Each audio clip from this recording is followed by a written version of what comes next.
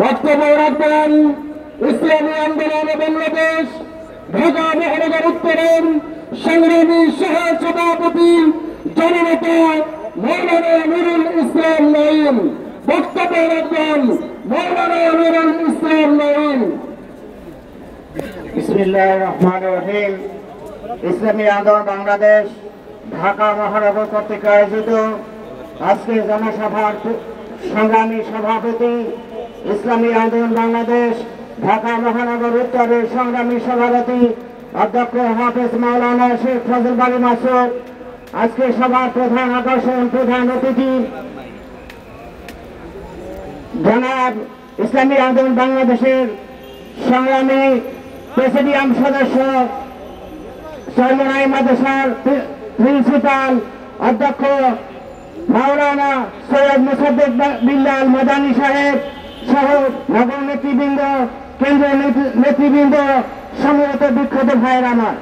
প্রিয় ভাইরা আমার, বর্তমান সরকার, হাসিনা সরকার নির্বাচনের নামে একটি সরকার শুরু করেছে, ঠিক কিনা?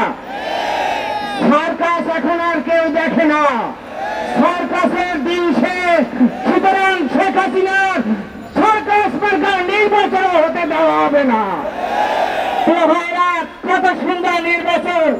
শেখ হাসিনা দুইশো আটানব্বই আসনে প্রার্থী ঘোষণা করেছে। বিরোধী দলে কারা হবে তাও তিনি নির্বাচন করেন। স্বতন্ত্র কারা নির্বাচন করবেন তাও তিনি নির্বাচন করেন।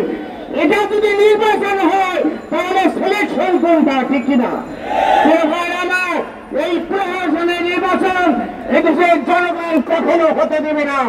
কৃষক চারমনার নেতৃত্বে ইসলামী আন্দোলন বাংলাদেশ রাজপথে আছে। আগামীতে থাকবে কৃষক চারমনার ঘোষণা। যে কোনো ঘোষণা তার কর্মীরা বাস্তবায়নের জন্য বুকে তাজা রক্ত ঢেলে দিবে। তারপরে নির্বাচন হতে দেবে না। রাখি দেওয়ান আলহামদুলিল্লাহ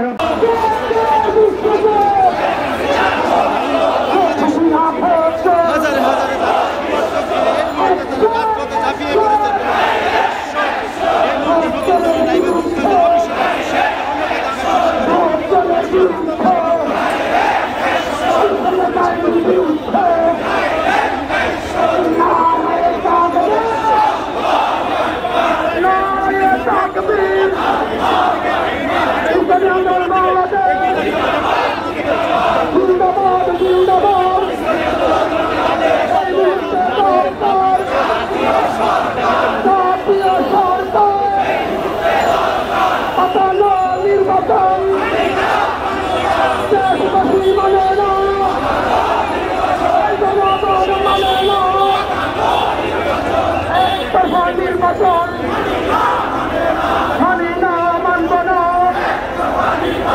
জনগণ মানে না দেশবাসী মানে না একটা নির্বাচন রুখে দাও জনগণ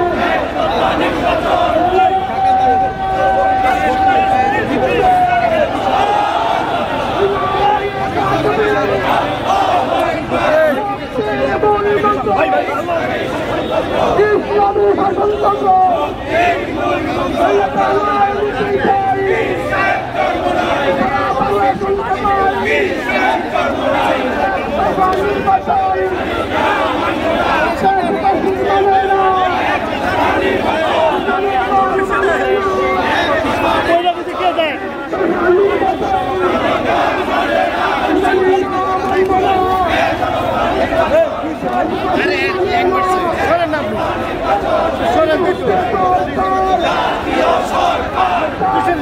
পিছিয়ে তো আপনিও যান না আপনি যান এক লোকে যান আপনি তো